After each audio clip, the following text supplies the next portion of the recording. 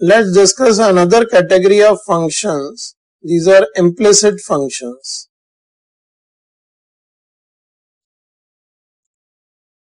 Till now what we have studied, the normal functions like y is equals to f of x. These functions we call explicit functions. Or here we say the value of y is explicitly defined in terms of x.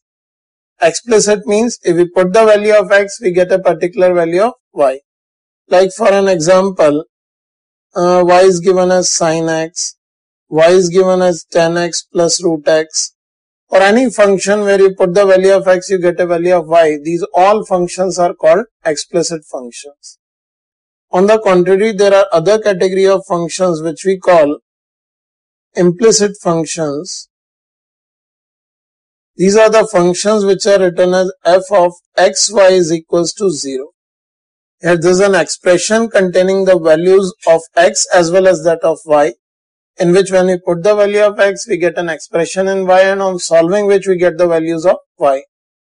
Like for an example you are given with x square y plus y square plus x cube plus 3xy plus 7 is equals to 0.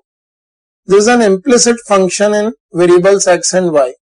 Here if you put the value of x, you get an expression in y and on solving this expression, you get the values of y. You may get one or more values of y. Similarly, if we are having a function sine of xy plus 3x square is equal to 0. Here we can write this, uh, this is also an implicit function of x and y. However, it may have real or imaginary roots. The values of x and y which are given here may exist or may not exist. Like if you put the value of x, you may get a particular value of y which is not a real value. Like in this function, if you put a value of x, it may be possible at various values of x, y is not defined. But still, there is an implicit function which contain the values of x and y both.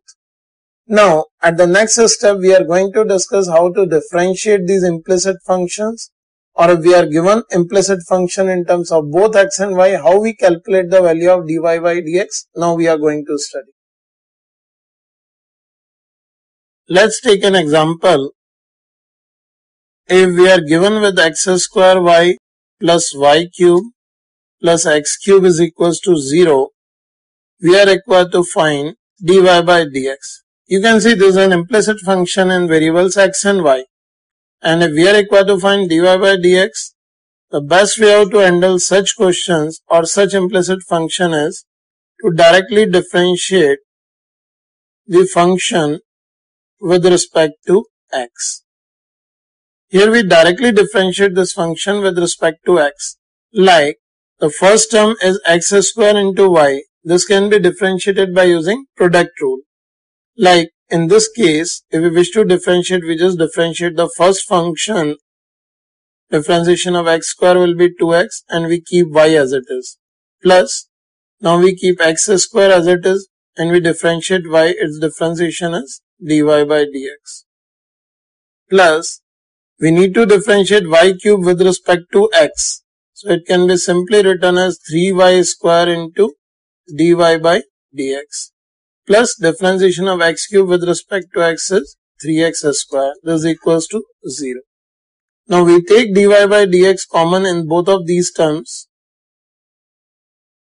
We'll be getting x square plus 3y square and we take remaining terms on the right side of equality. This will be negative of 3x square plus 2xy. So from here we get the value of dy by dx as it is negative of 3x square plus 2xy over x square plus 3y square.